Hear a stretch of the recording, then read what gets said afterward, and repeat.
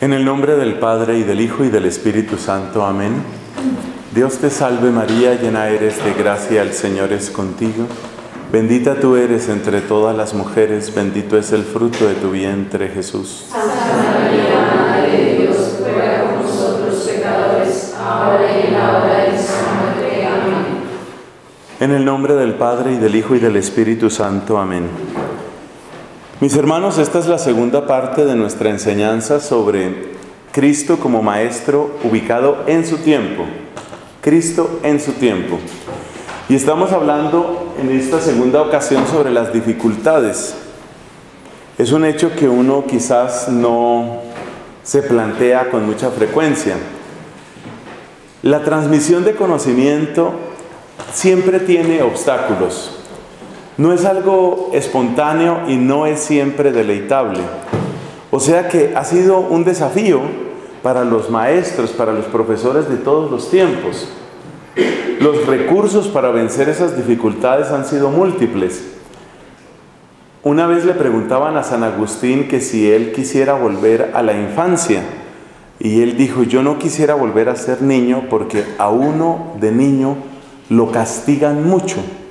En la época de Agustín, lo mismo que en otras épocas de la historia, parece que se practicaba aquello de que la letra con sangre entra y entonces era a base de castigo. Por supuesto que ese es un recurso que no cabe en nuestra cabeza hoy. Eso no, no es una alternativa para nosotros. Pero lo menciono simplemente para hacer ver que transmitir conocimiento no es fácil y que requiere perseverancia, tanto por parte del docente como por parte del discípulo, alumno o aprendiz. Así que siempre ha habido dificultades. Y por eso también la pedagogía es toda un todo un arte. El, el tratar de llegar a distintas personas y ofrecer de la mejor manera el conocimiento, en verdad es todo un arte. Algunas cualidades naturales nuestras pueden facilitar ese arte, otras en cambio hay que conseguirlas. Creo que ninguno de nosotros nace perfectamente dotado para realizar todas las tareas. Eh, quizás algunos de ustedes son papás o mamás. Quisiera, así por vía de curiosidad casi, si levantan la mano, por favor, los que son papás o mamás entre ustedes. Hay, hay varios que son. Y seguramente, gracias, seguramente se han dado cuenta los que son papás o mamás, se han dado cuenta que hay cosas que se facilitan, pero hay cosas que son muy difíciles. Y hay cosas que toca aprender sobre el camino. Y hay cosas que aunque uno las sepa, les resultan difíciles de practicar. Así que partamos de esa base, que la dificultad es parte del presupuesto que todo docente debe tener. Llegar a un salón de clase, llegar a un grupo de estudiantes pensando que las cosas van a ser sencillas o que van a fluir de manera natural y espontánea es absolutamente irreal. Entonces siempre hay una dimensión de desafío. Esa palabra es bonita, un, desafío, es un algo que hay que lograr. Y lo mismo que con otros desafíos, también el desafío de la docencia trae grandes satisfacciones. Antes de mencionar las dificultades propias del tiempo de Cristo, yo quiero detenerme un momento en esto del desafío, porque hay actividades humanas que se parecen mucho a lo que significa la docencia y que también tienen sus propios desafíos. Por ejemplo, pensemos el caso de un jardinero. ¿En qué se parece el jardinero, el que cuida y cultiva el jardín? ¿En qué se parece al docente? En muchas cosas. Por ejemplo, necesita paciencia. El jardinero no puede sembrar por la mañana y pensar que ya en la tarde están saliendo las flores hermosas y perfumadas y mañana temprano recojo los frutos. Se necesita paciencia, se necesita perseverancia, se necesita comprender el ritmo de aquel ser al que estoy tratando. Si estoy tratando una planta, yo no la puedo obligar a crecer jalándola, ¿no? Si, la plantica apenas está brotando y yo la jalo, lo que hice fue arruinarla. Entonces, entender los procesos, entender los ritmos de las personas, o en el caso del jardinero, los ritmos de las plantas, es verdaderamente un ejercicio y es un arte.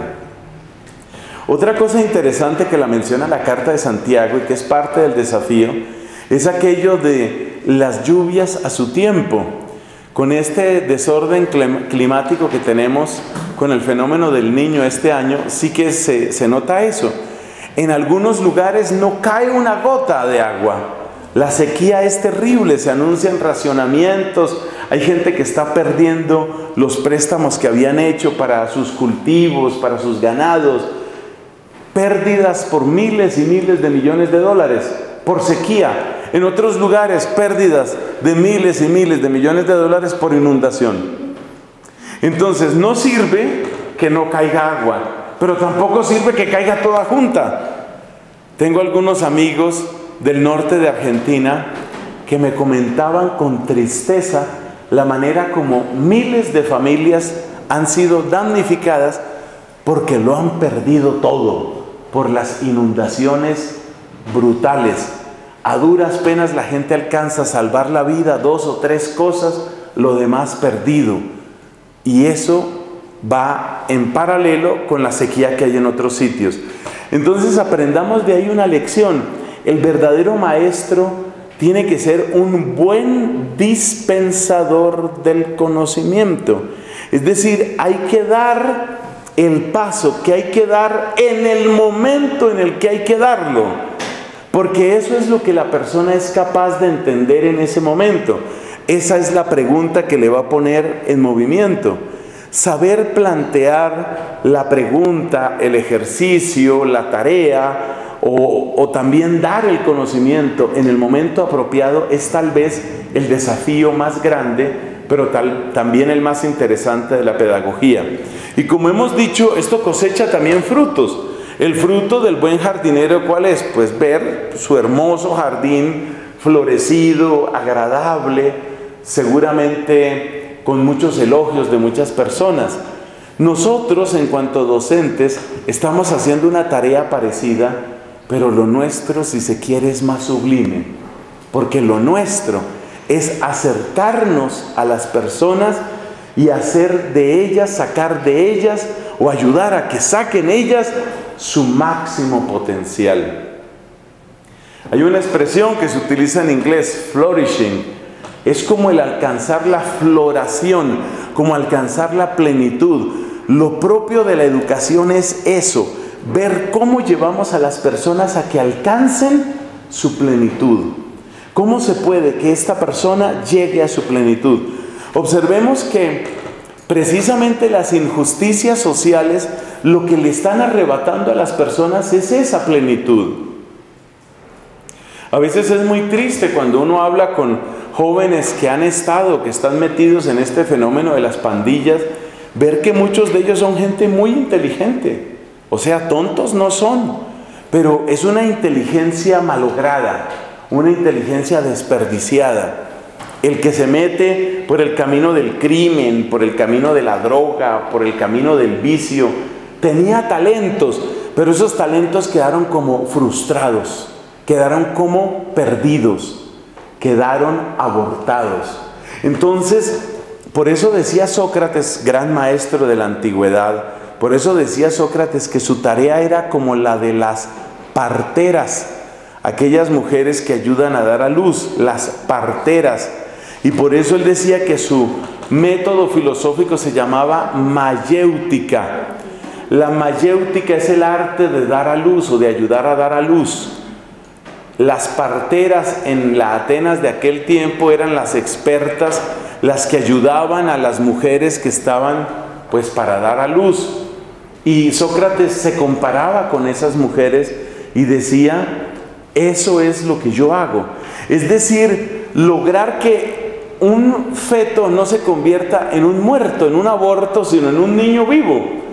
Bueno, lo mismo es aquí, que no muera el potencial de nuestra gente, las posibilidades que tienen, los talentos que tienen, que muchas veces son como diamantes para pulir. Esa es la belleza de la labor docente y por eso me parece que es una de las labores más nobles que hay sobre esta tierra. Muy mal paga, ciertamente, muy mal paga en todas partes. Eso eso sí que vamos a hacer, pero es una realidad. Pero no se debe simplemente a tales o cuales directivas. Nosotros también tenemos colegios aquí. No se debe simplemente a eso, se debe a una falta de aprecio social. Es que los mismos papás no aprecian la labor, es decir, para exigir mucho y para dar poco a veces. Esa es la realidad con muchos padres de familia. Porque a la hora de exigir lo que quieren es que el colegio les eduque a los hijos, se los deje civilizados, bien educados, corteses, con varios idiomas, con todas las destrezas, pero que me cobre un poquito. Y esa falta de aprecio social tiene un gran impacto, pues particularmente en la, en la educación privada. Bueno, eso era lo que quería comentar con respecto a la parte del desafío y cómo nuestra labor docente tiene todos esos desafíos, pero no debemos desanimarnos, sino más bien pensar que hay un fruto mayor, tal vez no un fruto económico que sería justo, pero sí hay un fruto humano muy grande que no debemos dejar perder. Ahora sí volvamos al tiempo de Cristo, porque estas consideraciones que hice son un poco generales. Volvamos al tiempo de Cristo y nos encontramos dificultades políticas, religiosas, logísticas, en la labor docente de Cristo. Pero creo que lo primero que hay que aclarar aquí es que Cristo en su labor docente tenía como varios círculos, varios escenarios, se, habla también hoy, en los que realizaba esa labor. Así vemos que Cristo en algunas ocasiones hablaba a las multitudes. Y para las multitudes Cristo tenía un modo particular de lenguaje. Ahí las comparaciones eran muy sencillas, utilizaba muchas parábolas. Ejemplo de discurso a la multitud es, por supuesto, el Sermón de la Montaña, que se encuentra en el Evangelio según San Mateo, capítulos 5, 6 y 7. Sermón de la Montaña. Ahí encontramos a Cristo hablando a la multitud. En otra ocasión, era tanta la gente que se acumulaba que Cristo le pidió al apóstol Pedro, subiéndose a su barca, le pidió, aléjala un poco de tierra. Y haciendo de la barca como su púlpito, le hablaba a la gente que quedaba en una especie de colina que baja hasta el mar. Yo no he estado en la Tierra Santa, pero hay muchas personas que sí han ido allá. Y los buenos guías turísticos le hacen el ejercicio a las personas con la barca.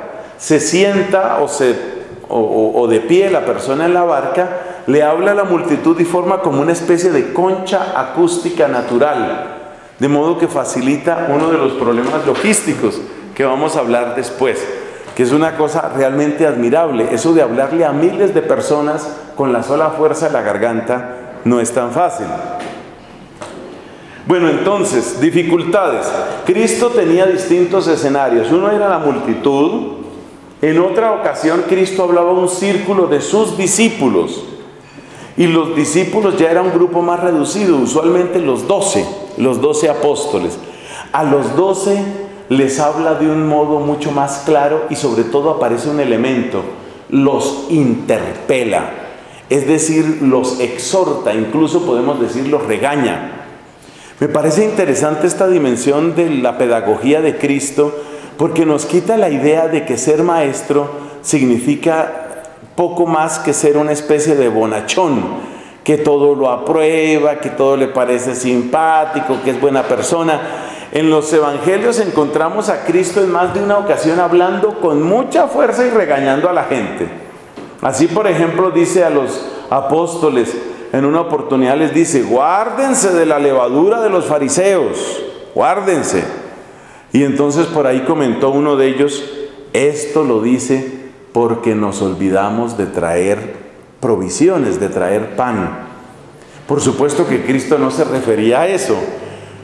Y entonces les dice, ¿ustedes se acuerdan cuando multipliqué cinco panes entre cinco mil personas?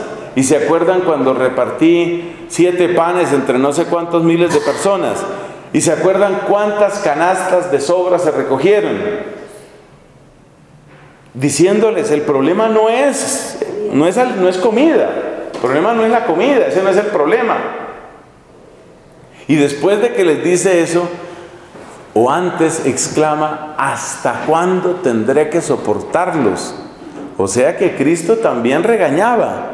Y en el capítulo de 24 del Evangelio de Lucas, donde tenemos aquello de los discípulos de Emaús, Cristo les dice, bueno, ¿y ustedes qué es la conversación que tienen de camino? Y le dice, no, hace tres días que sucedieron estas cosas, que mataron al Mesías, ellos no sabían que estaban caminando con el resucitado, ¿no? Hace tres días que pasaron estas cosas y es verdad que algunas mujeres de nuestro grupo nos han dicho que lo han visto y que resucitó, pero realmente no sabemos. Y con ese desconsuelo y con esa depresión y con esa, con esa voz de derrota. ¿Qué es lo primero que les dice Cristo? Qué necios y torpes sois para entender lo que dicen las escrituras. Entonces es interesante porque a veces nos han metido en la cabeza que solo se puede tener la política del estímulo y la política del elogio y la pedagogía del aplauso y la pedagogía del premio y el elogio y el estímulo. Y resulta que si vamos a Cristo como maestro, nos damos cuenta que la corrección también es necesaria. Incluso la corrección de Cristo creo que no la aprobaría el Ministerio de Educación Nacional en nuestra época. Qué importante saber que la pedagogía no puede ser solo estímulo. Fíjate cómo, y este yo creo que es una reflexión interesante, en esto de la pedagogía nosotros funcionamos como el péndulo, ¿no? De un extremo al otro extremo. Hace unos años, por decir 50, 60 años, solamente era la pedagogía del castigo. El que hace mal, su castigo. Todavía yo en mi infancia, cuando estaba haciendo segundo, tercero de primaria, había un profesor de aritmética, un profesor de aritmética que era súper estricto y él tenía una regla para darle a uno y si uno se equivocaba tenía que poner las manos, tenga su reglazo ahí y quedaba que luego no podía ni escribir el pobre niño era la pedagogía un extremo, ¿no? Castigo y castigo y castigo. Y ahora nos quieren vender la otra pedagogía. La pedagogía de que solo es aplauso. Muy bien, muy bien. Y sobre todo las mujeres que son tan afectuosas. Muy bien, mi amor, mi dulzura, mi corazón. Y resulta que, que no, no todo puede ser. Nos fuimos de un extremo al otro extremo. A veces se necesita elogio, pero también se necesita decir, esto está mal hecho. Así no es, no has logrado el objetivo. El lenguaje particular para decirlo quizás cambie, pero que hay que decirlo, hay que decirlo. Es parte de la pedagogía, es importante. Y ya que estamos en esto, recordemos otro extremo en el que también hemos caído. En una época toda la educación era memorizar, es lo que llamaban la educación bancaria, ¿no? Durante el año, el profesor está haciendo consignaciones de conocimiento en la cabeza del alumno, de manera que él está metiendo y metiendo conocimiento. ¿Y el examen qué es? El examen es presente el saldo. Entonces era una pedagogía bancaria de consignación y de saldo. Se privilegiaba demasiado la memoria y casi no se le daba importancia al proceso de análisis sobre todo el análisis crítico, no tenía mayor papel en esa pedagogía. Por ejemplo, para estudiar historia, simplemente había que aprender a recitar lo que nos dijeran, que los próceres de la independencia, que Camilo Torres esto, que Francisco de Miranda, que José de San Martín, y tenía uno que recitar todo como fuera, estuviera o no estuviera de acuerdo, análisis muy poco, crítica cero. Todo era memoria. Ahora nos fuimos al otro extremo. En el otro extremo se supone que todo es entender, comprender, inteligir, dialogar, discutir, pero a la gente no le queda nada claro en la cabeza, no le queda claro. Y resulta que está tan bien hecho el ser humano que nuestras potencias, nuestras facultades se necesitan las unas a las otras. ¿De qué sirve una gran inteligencia en una persona que no tenga memoria? Entonces, ¿a qué le va a aplicar su inteligencia? Ustedes saben que una de las dimensiones más importantes de la inteligencia es relacionar. Pero si yo no recuerdo, entonces, ¿qué voy a relacionar con qué? Y esto es realmente desastroso. El olvido de la memoria es total. Yo hablo en este caso de, de mi campo, en el campo de la religión. Tenemos unos casos graves, muchachos, que llegan al sacramento de la confirmación. ¿Y cuántos son los sacramentos? Los sacramentos son diez. Mateo, Marcos, Lucas y Juan. No saben contar, no saben de la fe, no saben nada. Diga el yo pecador. Bueno, profesor, tú pecador, empieza él, ¿no? Porque eso sí, eso sí sabe tutear. Entonces, démonos cuenta que ahí también nos fuimos de un extremo al otro extremo. Pero volvamos a Cristo. Entonces, Cristo enseña a las multitudes. ¿Cuál es el método privilegiado de enseñanza a las multitudes? Narraciones, comparaciones, ejemplos, parábolas. Ese es el modo típico de enseñanza a las multitudes. A los discípulos, ¿qué se agrega en el caso de los discípulos? Se agrega la interpelación, la retroalimentación y la aplicación directa a la vida. En alguna ocasión llegó una mamá, decimos en colombiano, un poquito metiche la señora. Una mamá llegó allá, llegó allá donde Cristo. Tengo algo que pedirte. Era la mamá de dos de los discípulos, Santiago el mayor y Juan, los hijos de Zebedeo. Y entonces llega la mamá allá y le dice a Cristo, quiero pedirte un favor.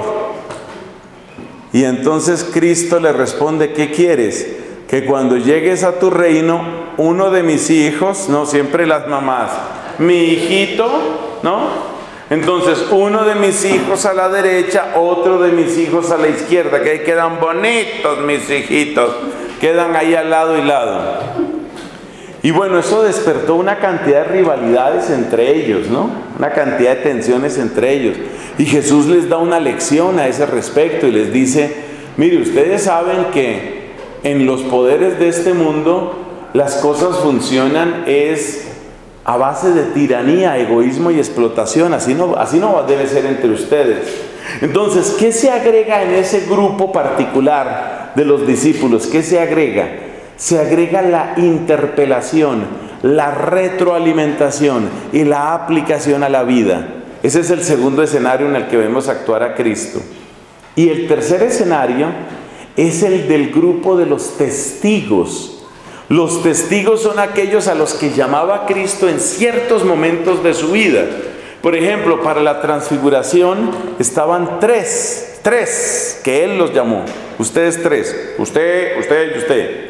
Y a esos tres los llamó, a ellos específicamente los llamó en varias ocasiones. Ustedes recuerdan el nombre de esos tres discípulos que son los más, eh, los llamados columnas, dice San Pablo. ¿Cómo se llamaban? Pedro, Santiago y Juan. Pedro, Santiago y Juan.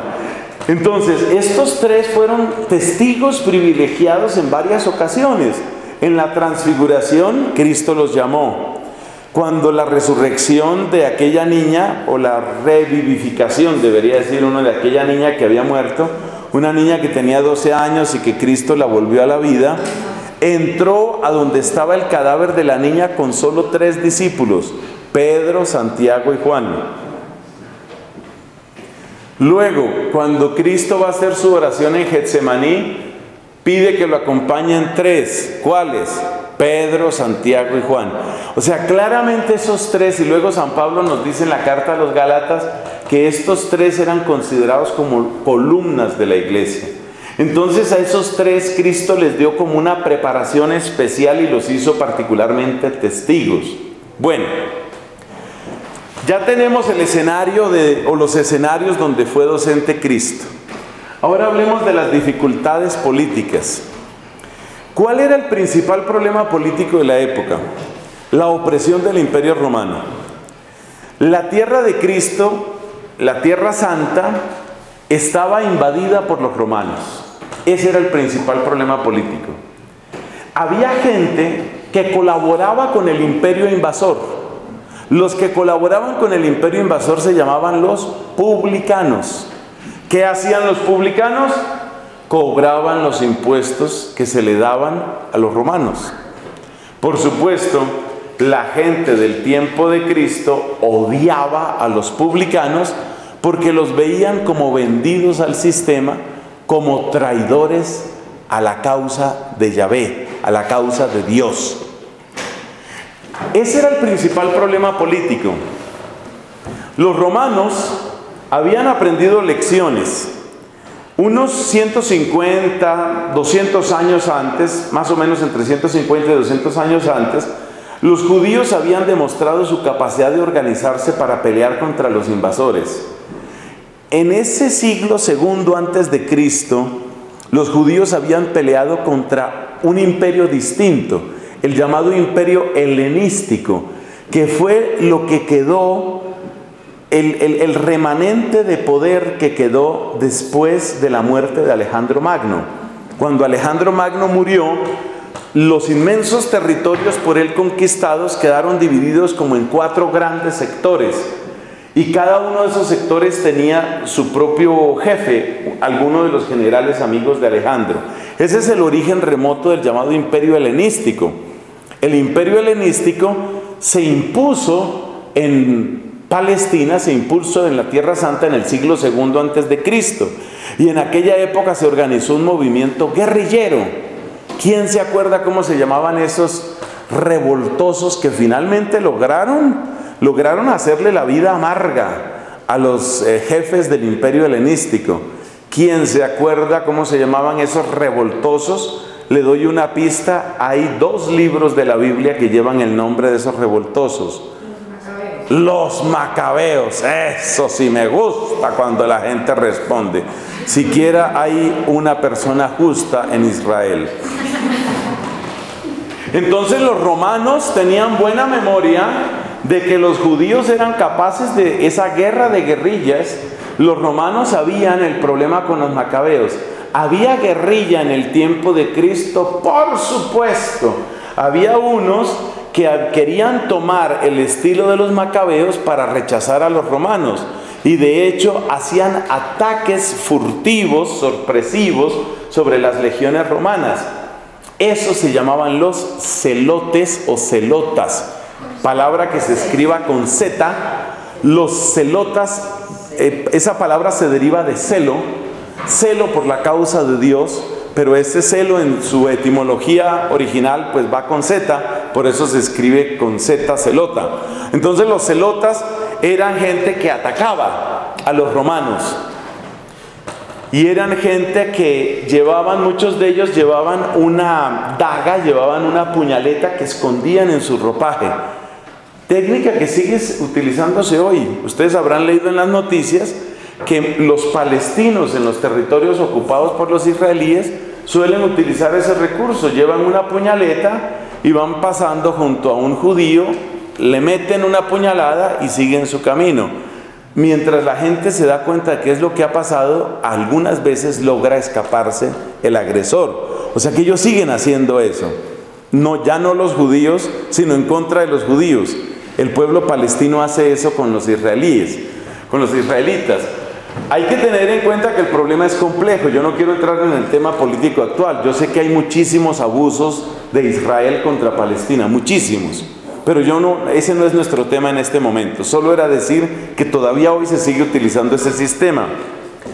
Judas Iscariote pertenecía a, ese, a esa secta de los que utilizaban esa especie de puñaleta el apellido de él, que más que apellido era un apodo, Iscariote, hace alusión, no recuerdo la palabra exacta, a esa especie de pequeño puñal, esa daga que utilizaban estos guerrilleros para ir eliminando romanos. Un romano menos, otro romano menos, vamos bien. Por ahí vamos bien. Porque ese es el enemigo. Lo sorprendente que es, lo sorprendente es que Cristo entre sus discípulos tenía de ambos. ¿Quién era Mateo? Mateo, que era lo que tenía como oficio antes de convertirse, era un publicano, cobraba impuestos para el imperio romano. Y Judas Iscariote, ¿quién era? un guerrillero, podríamos decir la extrema derecha y la extrema izquierda. Como si Jesús en el tiempo nuestro tuviera entre sus discípulos a un jefe guerrillero y a un jefe paramilitar, hablando en lenguaje colombiano. Eso fue lo que hizo Cristo. De hecho, por lo menos dos de los de Cristo, dos de los apóstoles eran ex guerrilleros. Podríamos decir que eran desmovilizados. Dos de esos guerrilleros eran quienes. Hay uno al que llamaban Simón el Celota. De hecho, el apellido o el apodo que le tenían ya era indicativo de, de, la actividad a la que se dedicaba. Era un guerrillero, era extrema izquierda.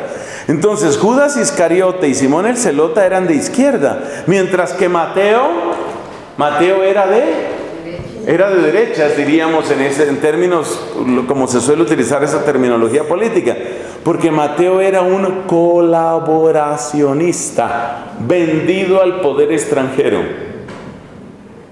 Entonces Cristo tenía esa bomba, ahí en sus discípulos tenía gente de extrema derecha y de extrema izquierda, colaboracionistas o ex colaboracionistas como Mateo y ex guerrilleros como Judas Iscariote y como Simón el Celota.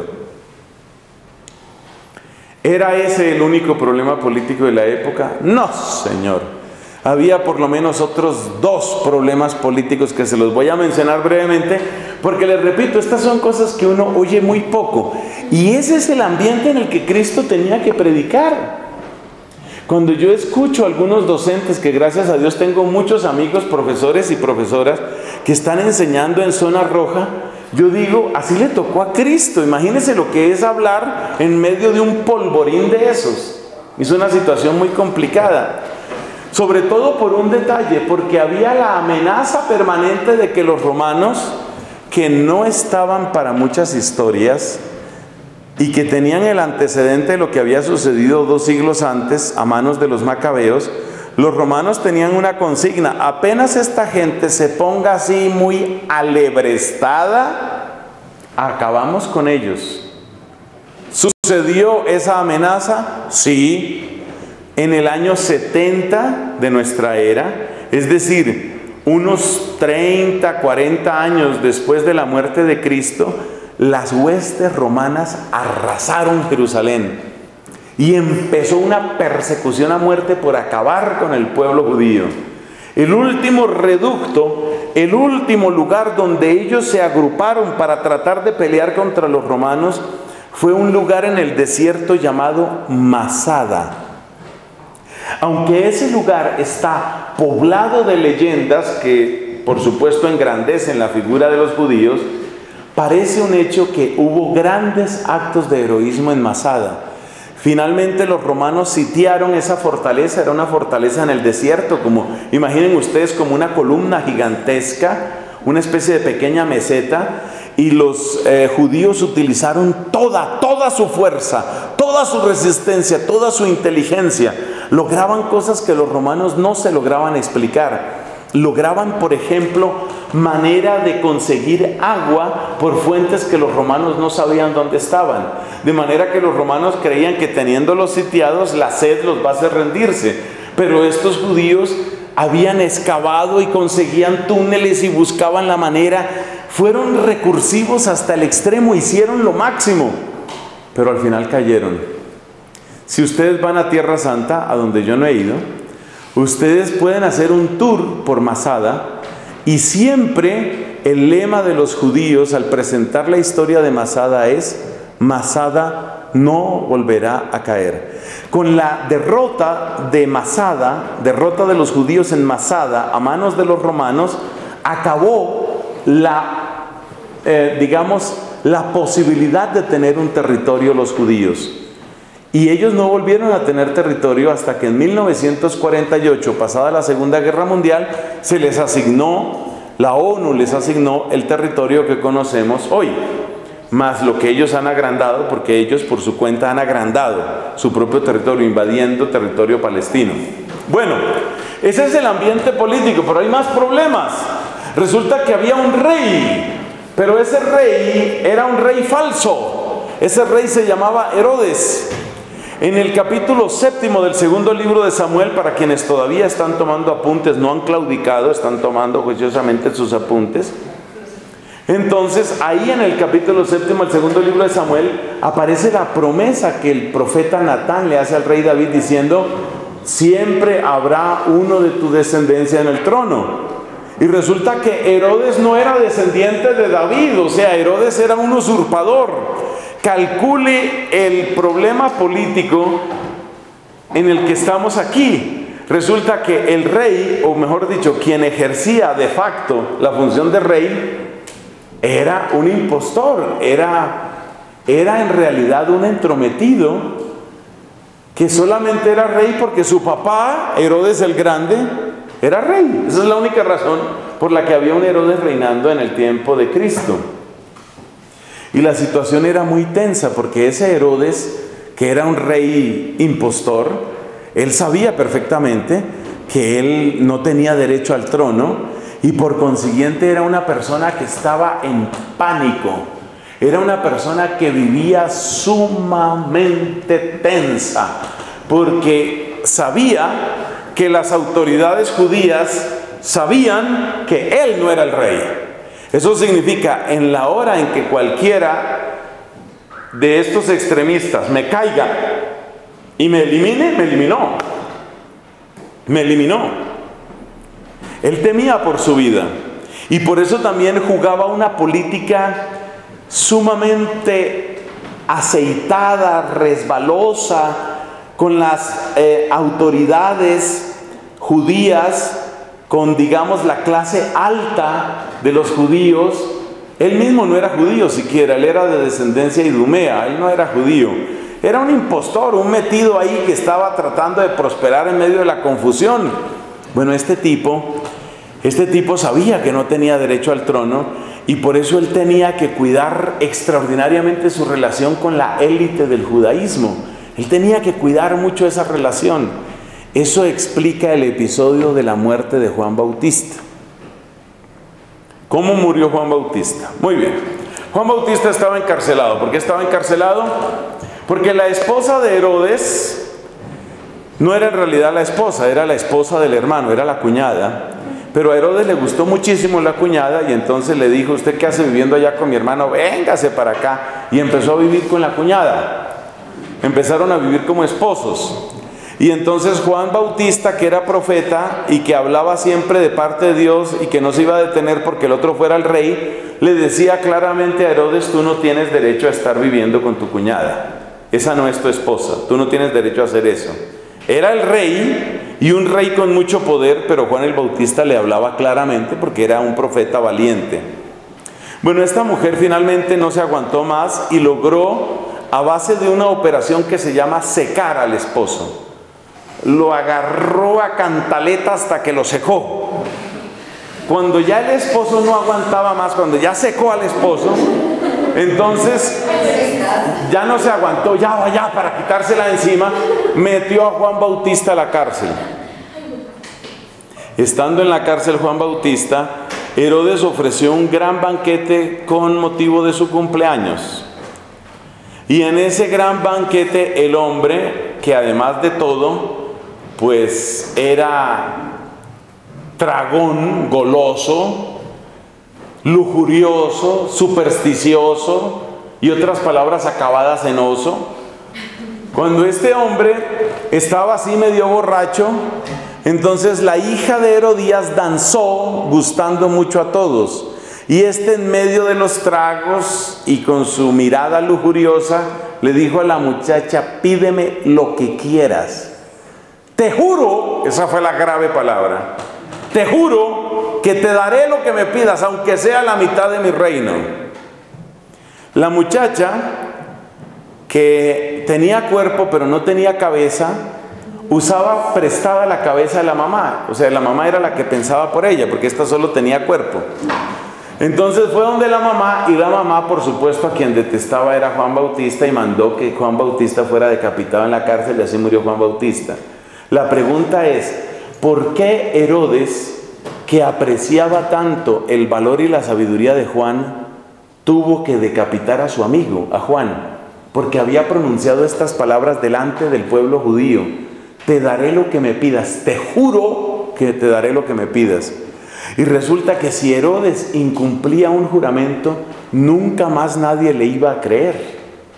Y como él tenía que mantener una buena relación con las autoridades judías de la época, él no podía darse el lujo de, incluir de incumplir un juramento delante de los judíos, porque si él incumplía ese juramento se dañaba la relación con ellos y eso era pura política lo que había en el tiempo. Entonces el tema político era muy complicado. Y el último tema político que les quiero mencionar es la relación pésima que había entre los judíos y los samaritanos. En el siglo décimo antes de Cristo se dividió el pueblo hebreo entre el reino del norte y el reino del sur. En el reino del norte quedó un rey que se nombró a sí mismo rey llamado Jeroboam, y en el reino del sur quedó un rey legítimo, pero sumamente incapaz y corrupto llamado Roboam. Jeroboam en el norte, Roboam en el sur. Y pasa que Jeroboam tomó la decisión eh, él estaba al norte y la capital de su reino fue Samaria. Él se dio cuenta que mientras su gente siguiera peregrinando hacia el santuario de Jerusalén que quedaba en el sur, nunca iba a tener verdadera autoridad sobre su pueblo, el que él acababa de formar dividiéndose del, del reino del sur. Entonces, ¿qué hizo Jeroboam?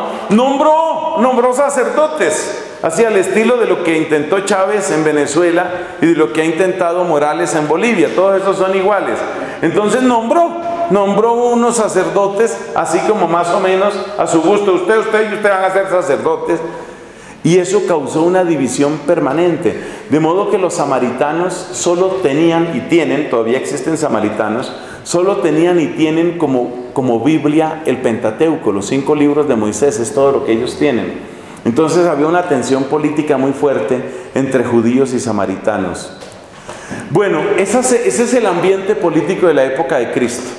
Fíjese las tensiones, invasión romana, rey falso y división entre judíos y samaritanos.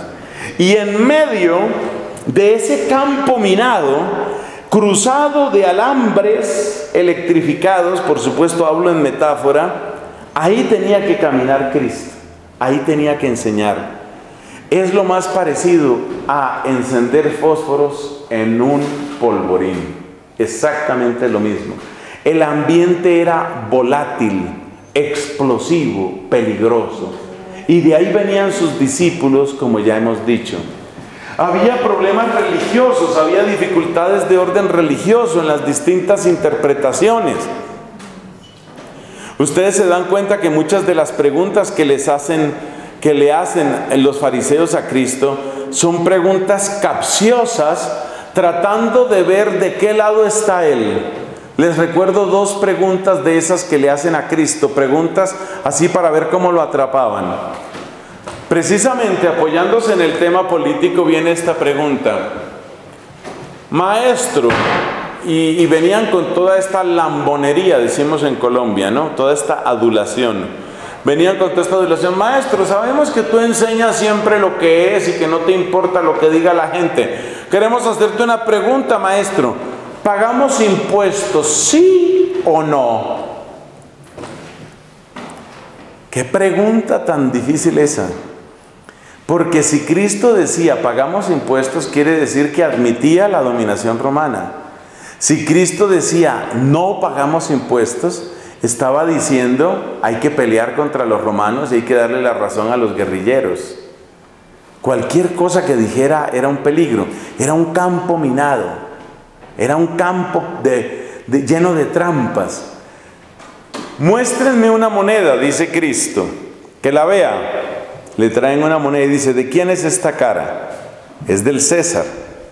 Bueno, den al César lo que es del César y den a Dios lo que es de Dios.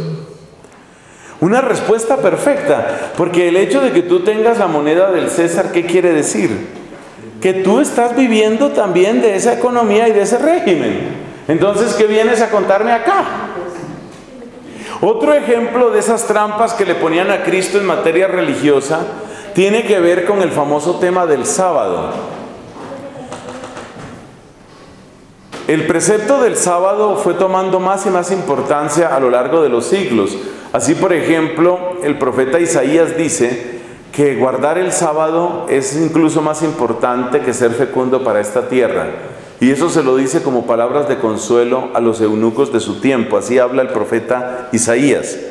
El sábado se volvió muy importante, se volvió el sello de aquel que es piadoso y obediente a Dios. Entonces continuamente, sobre todo los fariseos estaban viendo a ver si éste obedecía el sábado o no. ¿Por qué tus discípulos están arrancando espigas y las muelen en sus manos para comer algo? ¿Por qué están trabajando si estamos en sábado? O si no este otro ejemplo, ¿por qué vas a curar en sábado? O si no este otro ejemplo, Cristo curó a un paralítico y le dijo, lleva la camilla a tu casa. Y este llevaba su camilla y le dijeron, oye, eso no se puede llevar, hoy no se puede cargar camilla, es sábado.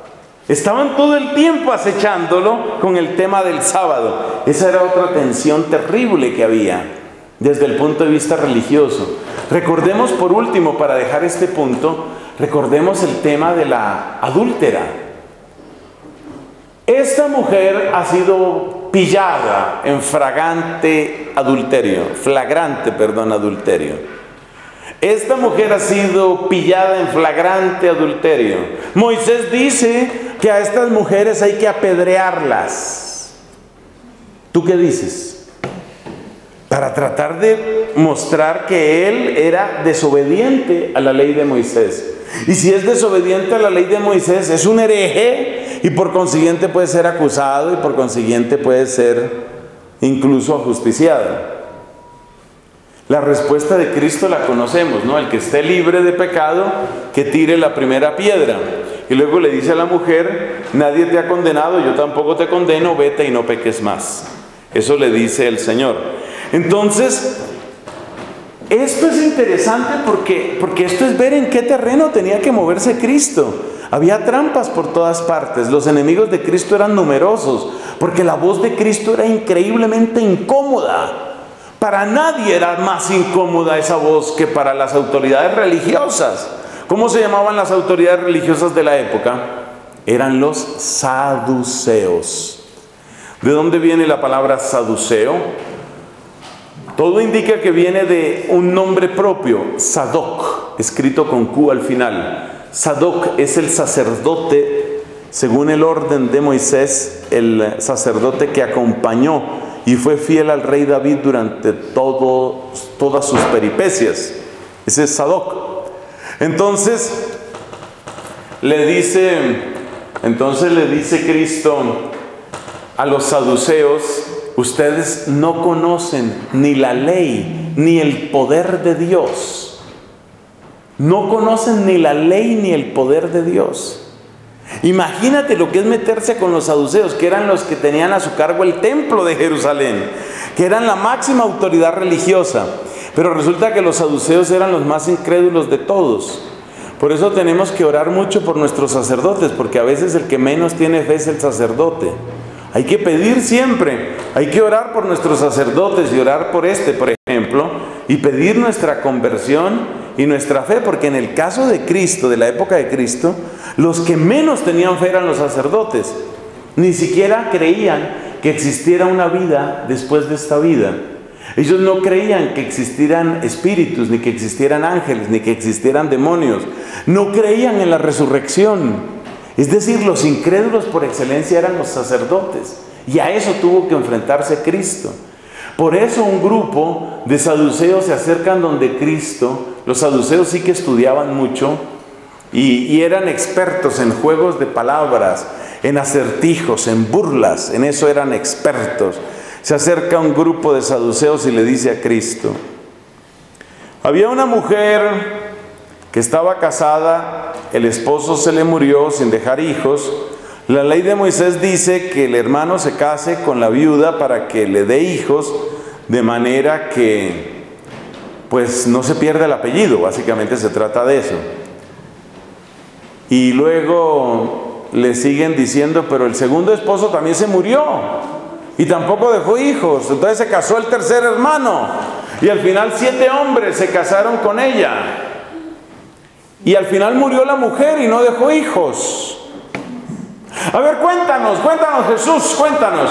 Cuando llegue todo eso de la resurrección y todo eso, ¿de quién va a ser mujer ella? Porque los siete se casaron con ella. ¿De quién va a ser esposa ella?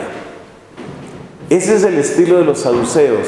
Ellos querían ridiculizar a Cristo, querían quitarle todo poder de influencia frente al pueblo, presentándolo como un charlatán y como un ignorante, algo así como un payaso que no merece mayor atención. Y parte de su esfuerzo pues fue esto, ¿no? Llegar a hablarle de esa manera. Le responde Cristo a los saduceos, ustedes ignoran las escrituras. Le está diciendo eso a los sacerdotes. Ustedes no conocen las escrituras y tampoco conocen el poder de Dios. ¿No habéis leído que Dios se presenta, Dios de Abraham, de Isaac y de Jacob? Para Él todos están vivos. Lo que sucede es que en la, otra vida no hay matrimonio. Por eso también la Iglesia Católica dice hasta que la muerte los separe. O sea que el matrimonio tiene fecha de vencimiento y se acabó el matrimonio. Es muy importante destacar que cuando se muere la pareja se acaba el matrimonio. Porque resulta que la Iglesia Católica, después de algunas discusiones que hubo en los primeros siglos, admite como perfectamente válido el matrimonio de una persona viuda. Ni más faltaba. Yo tengo el caso en mi familia, un hermano se le, se le murió la esposa, una situación pues por supuesto muy dolorosa. Después de unos años, pues él conoció la que hoy es su esposa, están felizmente casados. Entonces es muy importante saber que con la muerte se acaba el matrimonio. Por eso no se puede llegar, si por ejemplo se le muere a usted el esposo, usted no puede llegar después al cielo diciendo, ay, esposo mío, no. Ya el matrimonio se acabó, eso tiene fecha de vencimiento. Usted no puede venir con que esposo mío después de la muerte no. Entonces Cristo les explica eso. Cristo les explica eso a los saduceos, que ya no hay más matrimonio, que ya no hay matrimonio. Y dice, son como ángeles. Es decir, todo su corazón, todo su amor, toda su alabanza está para Dios. Entonces, con respecto a las personas casadas que estén aquí, I'm sorry. Pero realmente eso eh, eh, se, termina, el matrimonio se termina. Bueno, esto es muestra de las tensiones religiosas bárbaras, la presión de los fariseos, las burlas de los saduceos. Eso fue un ruido permanente. Y como Cristo hablaba con claridad, por supuesto, esto le producía un buen número, le generaba un buen número de enemigos. Además de todo esto, están las dificultades logísticas. Las dificultades logísticas son que no hay salón de clase, que no hay sistema de sonido, que no hay sistema audiovisual, que están todas las distracciones del mundo, que los discípulos entran y salen, que casi nadie sabe escribir. Es, a veces se parece como esta situación. Yo, por ejemplo, cuando veo gente que no toma apuntes, yo trato de consolarme, ¿no? Yo digo, bueno, tendrán una memoria prodigiosa como un consuelo que yo trato de darme, ¿no? Porque claro, cuando uno es profesor uno quiere que la gente siempre esté tomando apuntes. Aunque hay gente que no toma apuntes, sino que está dibujando florecitas, hacen un triqui, etc. Pero de todas maneras uno se consuela viendo a la gente tomando apuntes. Entonces sume las dificultades logísticas. Por favor, sumar las dificultades logísticas en el tiempo de Cristo. Mire todo lo que tenían. No hay salón de clase, no hay sistema de sonido, sobre todo para el caso de las multitudes. No hay constancia del alumnado. Tienen todas las distracciones posibles. No hay recursos audiovisuales. Por eso, hablando, por supuesto que Cristo es Dios, es verdadero hombre y verdadero Dios. Pero hablando en términos, llamémoslo así, puramente humanos, yo sí que admiro a Jesucristo. Lograr lo que logró este maestro es increíble. Tener esa capacidad de dar enseñanzas tan preciosas y tan fáciles de recordar que todavía en nuestra época siguen funcionando y siguen dando fruto. Uno escucha una, dos veces la parábola del hijo pródigo y se le queda para siempre en la memoria. Uno escucha la parábola del sembrador y ya no se le olvida. Uno escucha el hombre que encontró un tesoro y vendió todo por conseguir el tesoro y ya, ya eso se le queda. Uno toma la imagen del buen pastor y ya no la olvida. Es una pedagogía preciosa, una pedagogía donde la imagen, el enigma, lo cercano, lo mnemotécnico se conjugan. Es decir, él como maestro es fantástico. ¿Cómo hacer una narración que no solamente tiene una enseñanza, sino tiene muchas enseñanzas? Porque nosotros sacerdotes, por ejemplo, somos llamados a predicar continuamente a partir de la palabra de Dios. Y un sacerdote que realmente profundice en la escritura encontrará una y otra vez que la riqueza no se agota, que es extraordinario lo que hay ahí. Uno predica de, estas parábolas, de estos mensajes, de estos discursos de Cristo y pareciera que siempre hay algo nuevo. Perdónenme una pequeña alusión autobiográfica. Este servidor de ustedes se ha puesto en la tarea de grabar homilías desde hace más de 20 años. La primera homilía la grabé, si están bien mis archivos, el 4 de noviembre de 1995. Hace más de 20 años estoy grabando homilías están en mi sitio web, que está al servicio de todos ustedes. Se llama Fray Nelson, en una sola palabra, fraynelson.com. Y en este momento, para la gloria de Jesucristo, son más de 6.000 homilías grabadas. Más de 2.000 conferencias. Una más es esta que estamos precisamente teniendo en este instante. Y la gran mayoría de las enseñanzas y sobre todo de las homilías, por supuesto, son reflexiones sobre la palabra de Dios. Son inagotables realmente esas, esas preciosas palabras con las que el Señor nos ha regalado.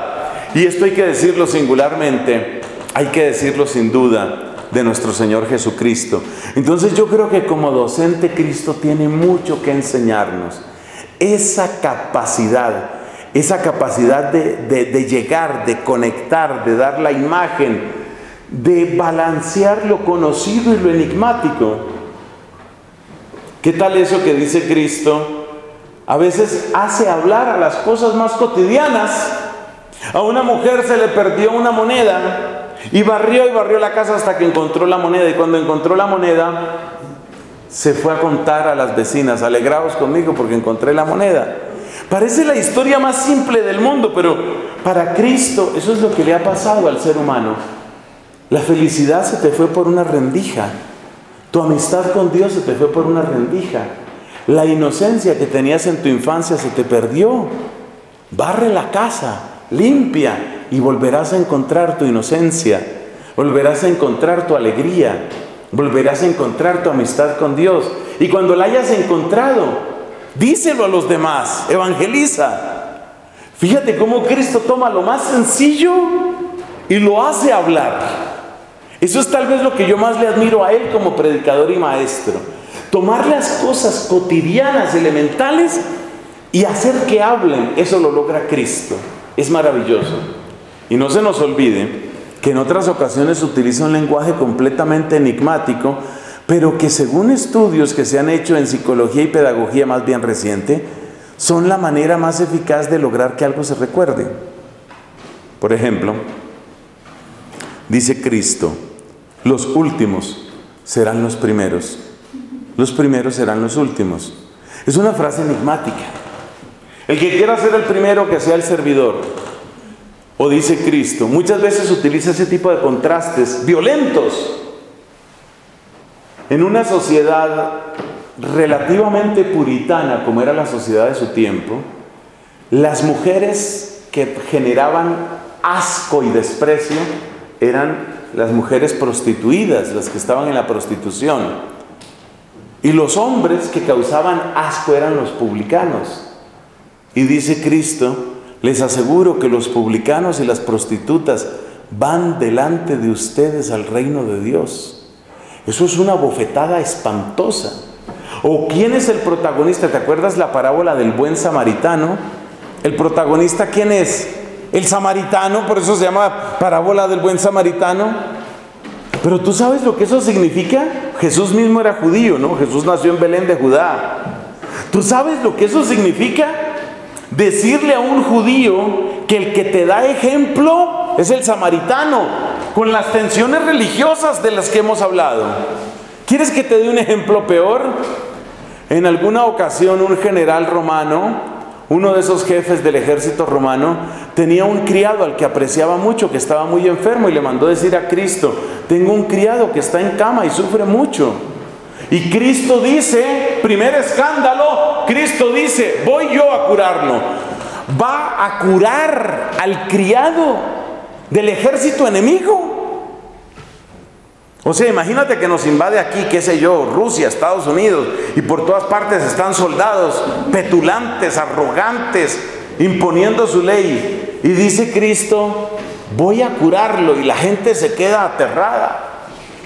Y el general ese manda a decir, no, no, yo no soy digno de que entres en mi casa, basta con que lo digas de palabra, y mi criado se sana.